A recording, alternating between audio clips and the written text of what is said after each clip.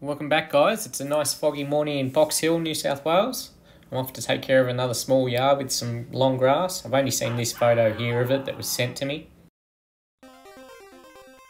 Here's the actual look at it, me arriving this morning. Doesn't look too bad, it's just Kikuyu. Here's the front. A lot of edging to be done. Being a corner block. That bark looks like it'll be fun with the uh, whippersnipper. It's uh, new gear day two. I went into the store yesterday to buy a beefier Honda and walked out with the Stihl FS240R.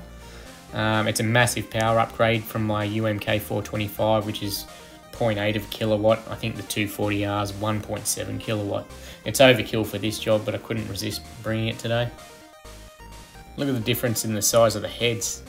It's massive. Enough about that, I better get started.